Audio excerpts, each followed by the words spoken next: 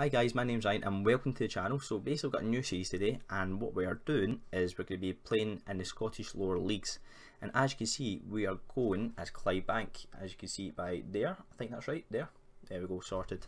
So basically Clydebank FC, um, a team that were thriving in the 70s and 80s uh, playing in top divisions of Scotland which is now the Scottish Premiership and Scottish Championship and basically they went into a bit of financial difficulty, a bit like um, Wimbledon um, down in England, and basically their club were ran into the deck, into like millions of debt. Um, their stadium was stripped um, and sold um, to Kilbowie Park, which was also the first all-round seater stadium. It was sold in 1996, and eventually Clydebank had to play a couple different stadiums for a few years. Um, so basically, they, they, lost their identity, they lost their club, and eventually their club was actually sold and stripped of its assets by the, their, their owner, which was then um, it was bought over by a consortium, and eventually that turned into Airdrieonians. Eventually, from there, 2003, Clydebank then became its own identity again, and kind of like Phoenix Club, and rose for the ashes, and now they are in the West of Scotland Premiership, which is now the sixth tier Scottish football. If anyone knows anything about Scottish football, the West of Scotland Premiership is a new league that's basically been created with the teams that were previously in the junior setup anyone that knows anything about Scotland knows the junior setup was its own mini league um, within probably about the same level at it is now in terms of quality but it, you could not get promoted you could not get relegated it was a four tier system and then that was basically it there was no promotion to the professional leagues but now they've amalgamated them together and now all the teams that were previously junior can now move in and uh, eventually go professional eventually if they are good enough and want to progress through the leagues, which is the aim of Clydebank. So if we go into the save right now, as you can see, we've got everything set up. We've got the logos for Clydebank. I've only got a few of the kits. That was the only issue I was kind of having. I've got a couple for the bigger teams in terms of teams like Rossvale, Pollok, Largs. Um, these are actually some of them are older kits as well. It's just what I could get my hands on to be honest, and I'm not the best when it comes to the kit packs. Um, so we've got a couple of that real players in there, not many what I'll try and do is I might try and uh, gain some players and then I'll rename the players and I'll take I'll change them into the real goalies names uh, like the real players names which I think people would appreciate so it's a bit more realistic. As you can see I've actually got one of their polo shirts on and that's because I used to play for them. Um, I used to play for the academy team. Um, been on the bench a few times for the first team but that's as far as I really went. Uh, so we'll quickly go into it and um, of course I'm a motivator. That's always the way I've been and we're just going to use the badges as said there and yeah, let's get into the save.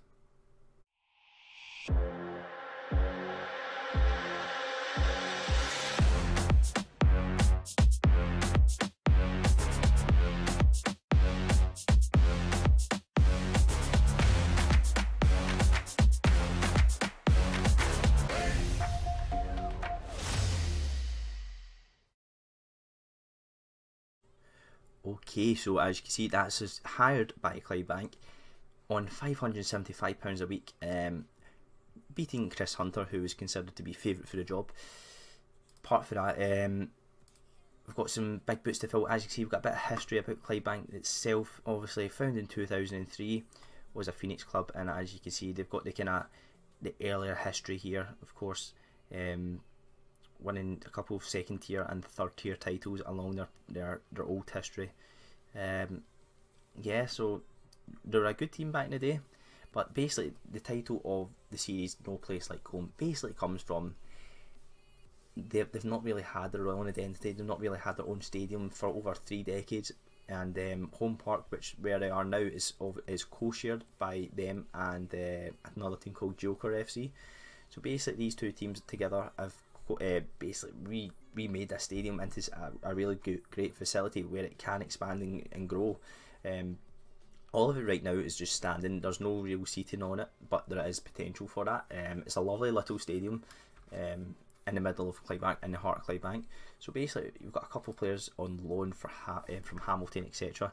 And as you can see, we've just basically been told to maintain a West of Scotland Premiership top finish um, for the next few years. That's really it. But um, to be honest, the way that we're wanting to do it is we are wanting to get ourselves up the leagues. So we'll get everything saved up and ready to go. Uh, apart from that, and just some general information about the way that series is work. We're going to try and probably do about three to five episodes per season. with the meaning of course we're going to try and eventually get into the Premiership. So by going into Premiership, it's going to take us a bit of a time. So by doing three to five episodes, that's roughly going to be a 40, a 40 episode series at the most in terms of trying to get there, or that is the aim anyway. Um, so hopefully it goes all well, and that would obviously take us probably to that what's that maybe half a year to do it. So that probably take us to the end of FM21 which would be fantastic. So basically, I'm going to do all this kind of stuff off screen, do all the basics that I've, you've seen in the Toulouse save. If you haven't seen the Toulouse save, I'll leave the link down below. But basically, I'm going to do all the kind of nitty gritty work off camera, and we're just going to basically look at the schedules, look at some results, and we'll play a few games in between, and that's basically the way it's going to work. So yeah, hopefully all goes well. Okay folks, so that's us on to the first game of the season. As you can see, we are playing Pollok at home at Holm Park. It's going to be a tough game. I'm not going to beat around the bush. Pollok are going to be one of the toughest teams in the division. However, we have tried to make a few signings. We've had about a month to prepare, and I'm not going to be funny, it's been hard. Probably one of the hardest saves I've done in terms of preparation. Because you're probably given a very short but a small amount of budget, so you can't really do much with it and you're working from zero. You've got no assistant manager, no scout, no nothing. So you're basically trying to use your general knowledge, players that you can probably get, and just kind of wheeling and dealing. See, just asking players who you can bring in, do a few trials. So we managed to bring in a few players. Some of them good, some of them bad. Um, we've not really got rid of anyone as such. We've had a few offers in for Dominic Irvine, but at the moment I will get rid of him. But at the moment I just can't get rid of him due to just the lack of players that I've got. Dylan Cole's been uh, given an offer, but I've tried to offer him a new contract. He's on a free, so there's nothing I can really do about it. However, I would like to keep him because he looks like he's going to be a prospect for the future. Apart from that, we're basically just working with what we've got. Um, we brought in, let's see who we've brought in. We brought in a few trialists uh, that we've eventually signed on uh, permanence, and it's not really given us a proper transfer history. Here we go. Let's see. So we brought in Lee Gallagher, Grant Savoury, Danny McKenzie, and Kieran Jack. So we've only brought in the four. Our budget's not particularly good either. As you can see, we've got a zero pounds wage budget, so we're basically just working on wage spending. Um, and we've got a committee spending on 1100 and at the moment our wage budget's only 990 so we are overboard it's going to be a tough one. It's going to be a very tough one, to be honest. We're going to try and develop as much as we can. We brought in a few staff members as well. Uh, if we just go on to our staff overview and coaches. So we brought in assistant manager, Alan McGregor.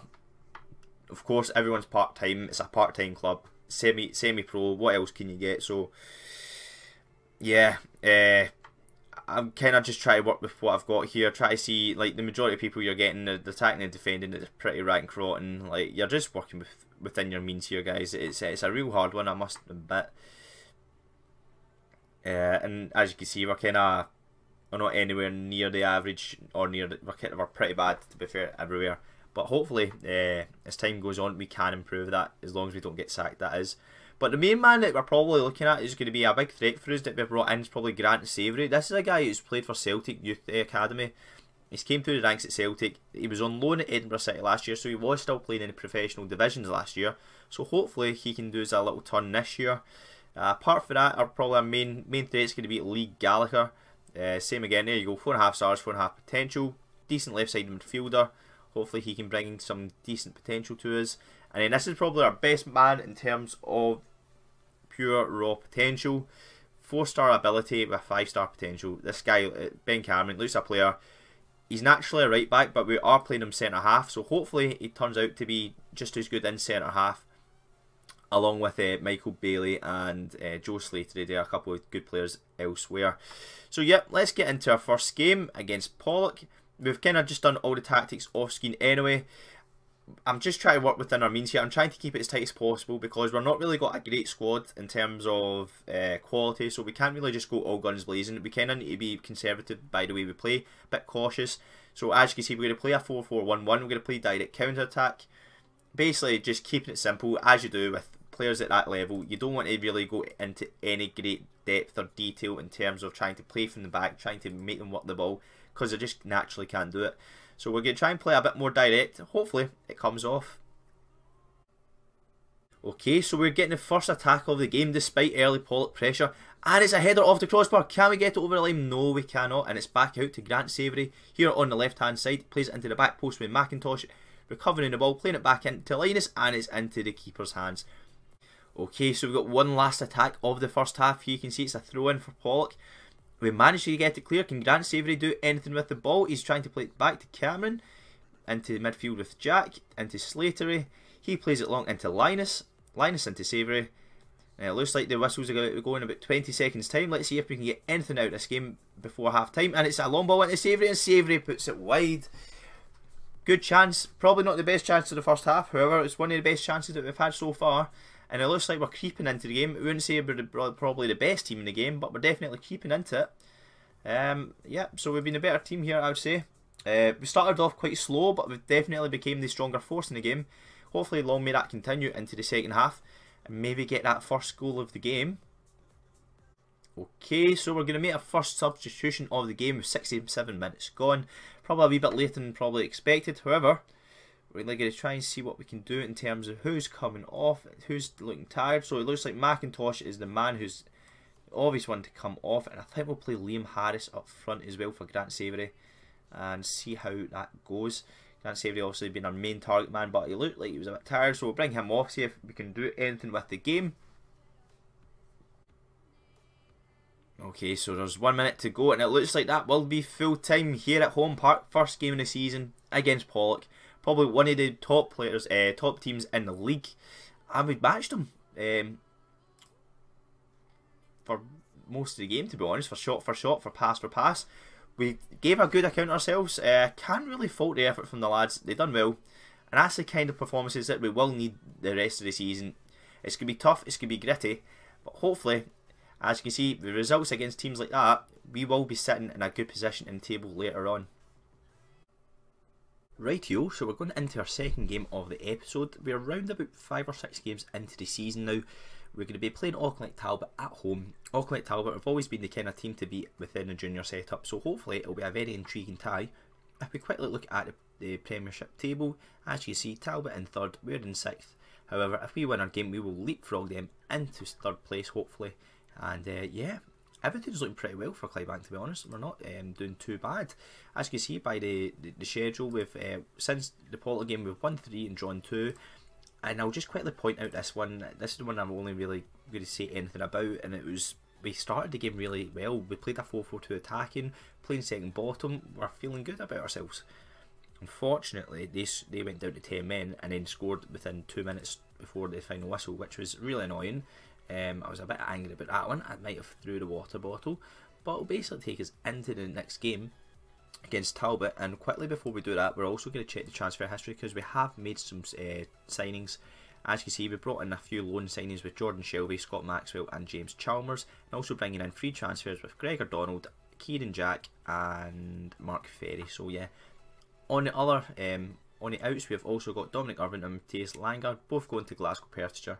So yeah, basically the, the lineup this is the way we're playing because the way I'm playing 4-4-2 um 4-4-2 balance now was basically during the Kilbirnie Ladeside game we went 2-0 down at half time changed it to 4-4-2 went attacking and we went and drew 2-0 so hopefully that formation is starting to prove a wee bit more evident and also allows us to play a second striker in Liam Harris and Liam Harris as you can see he's got potential to be a really good player for us.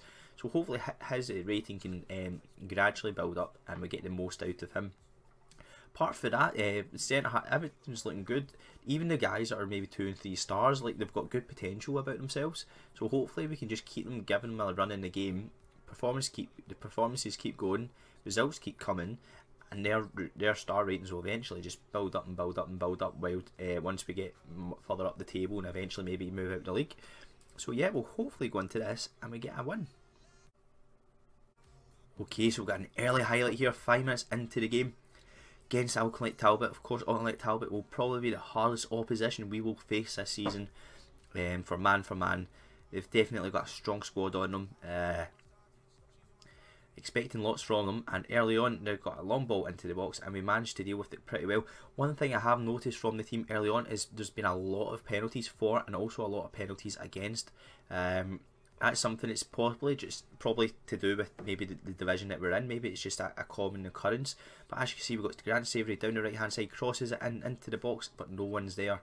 And uh, yeah, our main strikers probably this season is going to be Connor Linus. He's probably scored four or five goals already this season. He's doing pretty well. And as you can see, we've got Bailey down the right hand side into Joe Slater, into Jack, into Harris. Harris hits in the back of the net, and it's 1 0 to Clydebank. So happy days. Uh, six minutes into the match, and that is the start that we wanted. At the moment, we've only got a balanced mentality, so I don't think we really need to change anything as such. But yeah, look at that. Bailey and a right back into Joe Slatery, and then Jack with a long ball into Harris over the defence, and Harris taps into the bottom right hand corner. Great finish, and that's a great goal to have. And uh, that sets us up pretty nicely for the start of the game. Okay, so we've got a second highlight here with Shanklin down the left hand side into Pope, into Kettings, and he plays it into Sparks, into Armstrong, plays it over to Wilson on the left hand side. Can he get there before it goes out? Yes, he can. Will he get across in? He drops it back into Kettings, back in, and there is Sparks, but it's disallowed for offside. I believe that'll be an offside for the left back Wilson. It did look offside when it did come in, and uh, yeah, but we're going straight into another highlight here, and it's cleared by Gallagher into Harris. Harris is going to run their defenders. Is he going to play it in the right hand side? Yes, he does. But Savoury gets to the ball. No, he doesn't and they get the counter attack. No, they don't. We clear it into Linus onto the left hand side with Gallagher. Gallagher can he run down the left hand side? He does. He gets right to the byline. Can he get anything from it? Plays it into the back post and it is cleared by the Talbot defence. Here we come again. Bailey into Jack. Over the top ball. Back into Harris. Similar to the first goal. And it's a second. Great goal. Basically a carbon copy of what we've seen from the first goal. It looks like that over top ball in their defence is working a treat. And Liam Harris gets his third goal of the season. Second goal of the game putting us into fourth place at the moment. Unfortunately, not leapfrogging Talbot, but hopefully, if we get one or two more, that might come. We might even get into third place today, which would be fantastic. Okay, so we've got highlight here in the 40th minute where we have just dominated the game from start to finish. Of course, being 2 0 up against Talbot. Here we come, Talbot on the right hand side with White into Armstrong. Plays it over the top of the defence, but is cleared by Cameron, our young centre half, who's been fantastic for us since the start of the season. And it's back into Harris for his third and it's a good save by Hewitt, the goalkeeper for Talbot. Same again, another over the top ball into Harris. Harris seems to be playing that role excellently. Hopefully, long may it continue into the season. And we might actually have not just Connor Linus as a good striker, but Liam Harris, who's only played the last two games, but he has been fantastic for us. So hopefully, he can continue. Okay, so I think that is coming up for half time now. Yep, fantastic.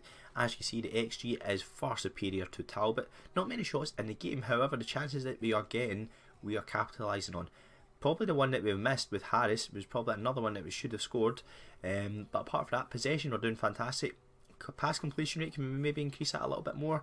Doing well in the corners, doing well in the shots and target. We're, we're doing really well can't really fault the players. They are sticking to their guns. They're doing exactly what I want within the game plan, and hopefully we can get a third or even a fourth. Okay, so we've got another ch uh, chance here, highlight. On the 63rd minute, down the left hand side, it is Donald, our left back, and is he going to run down the wing? Yes, he is. He's going to get by their defender. No, he gets the tackle in, and they are on the counter attack here. Shanklin into Sparks. Shanklin does not receive the return ball from Sparks, and it is cleared. As you can see, we're very direct, by the way. We're getting the, the straight away, we get the ball. We are looking for that over the top through ball. And here we go, Linus into Slatery, Slatery back into Jack. Jack plays that over the top through ball into Grant Savoury, and it's in the back of the net.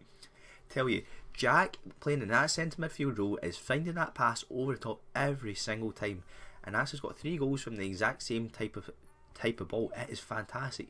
There you go. It's just Slatery dropping it into Jack, and Jack's just finding that right hand side pocket into Savoury, and by the way, what a finish on the half volley into the bottom left hand corner and that is game finished. And I think, whilst that happens, I think it's time to make some substitutions.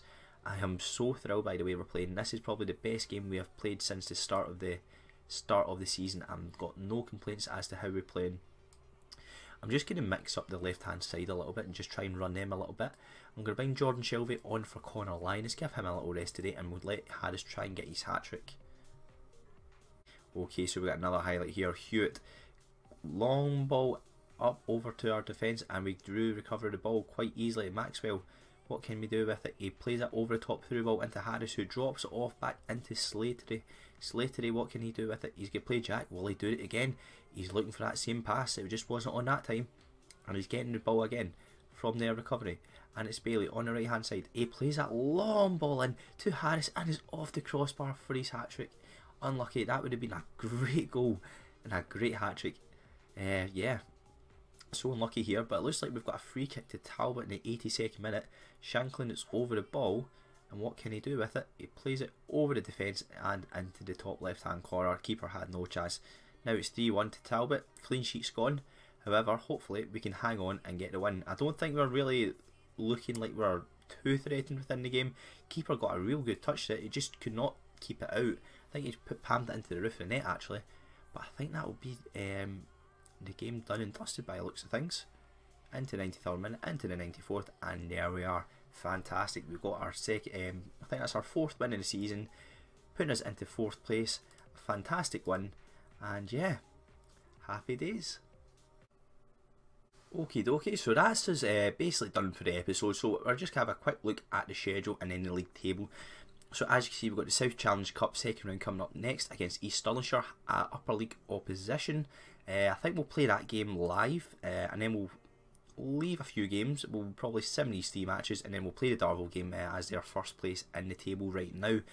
And then we'll maybe follow it by a few more sims, and then we'll finish the game off. Um, base, I think we'll maybe finish it off with a game against Cumbernauld United, and then that'll be getting us into the January transfer window. We'll maybe try and get a few freebies picked up for next season. Apart from that, we'll just have a quick look at the West Scotland Premier League table.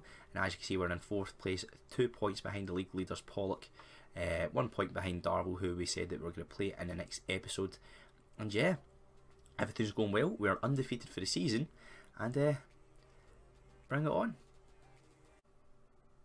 Okay folks, that's the end of this episode. If you like what you've seen, please leave a like down below and subscribe. We've also got another series on the go. We've got Toulouse FC, um, basically taking from a second division club and making them a European force. Apart from that, we also stream on Twitch most days, uh, mostly doing football manager saves and FIFA. So my name's Ryan, and I'll see you all next time. Bye.